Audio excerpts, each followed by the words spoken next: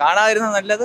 പാവങ്ങൾക്ക് ഒരു നേരത്തെ ആഹാരം വാങ്ങിച്ചു കൊടുത്താൽ അതാണ് ഏറ്റവും ഉത്തമം. ഈ ഡയറക്ടർ എന്ന് പറഞ്ഞാൽ സിനിമാറം ബാലയുടെ ചേട്ടനാണ്. അദ്ദേഹം സൂര്യ എന്ന് പറയുന്ന സാറിനെ ഇങ്ങനെ വിനിയോഗിക്കരുത് എന്ന് മാത്രമേ പറയാവുള്ളൂ പൊണ്ണെണ്ണ പടത്തിന്റെ കേസൊന്നും പറയണ്ട. അത് രാവിലെ വന്ന് പടം കണ്ട്. സൂര്യാണ്ണന്റെ പടം ആയതുകൊണ്ടാണ് കണ്ടത്. കണ്ട് രണ്ടര മണിക്കൂർ തിയേറ്ററിൽ ഇരുന്ന് കുറച്ച് പോപ്കോൺ വാങ്ങിച്ചു. പോപ്കോൺ വാങ്ങിച്ച് കഴിച്ചതുകൊണ്ട് അങ്ങനെയെങ്കിലും സമയം പോയെന്ന് അറിയാം. സൂര്യ പോലുള്ള ഇന്ത്യൻ സിനിമയുടെ അഭിമാനമായ നടിപ്പിൻ നായകൻ സുരേഷ് കുമാർ എന്ന് പറഞ്ഞാൽ മലയാളികൾ ഒന്നടങ്കം ഒരുപാട് ഇഷ്ടപ്പെടുന്ന വ്യക്തിയാണ്. മലയാളികൾ ഇന്ത്യ ഒട്ടാകെ.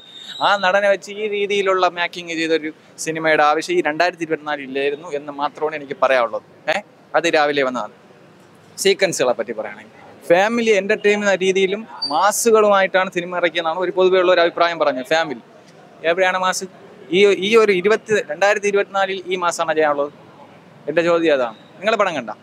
പടം കണ്ടില്ലല്ലോ.